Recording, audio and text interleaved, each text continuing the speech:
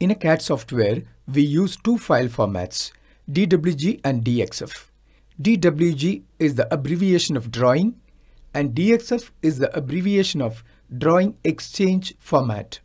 You can export a CAD drawing from a CAD software to other software packages to do various tasks such as analysis, structural design, etc. using DXF format.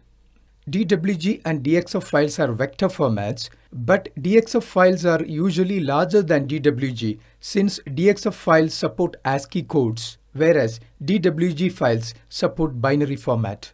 In AutoCAD, you can easily convert a DWG file to DXF using the Save As option. And here you will see the various DXF file formats. A DXF file can also be converted back to DWG using the same Save As option. You can choose a drawing file format.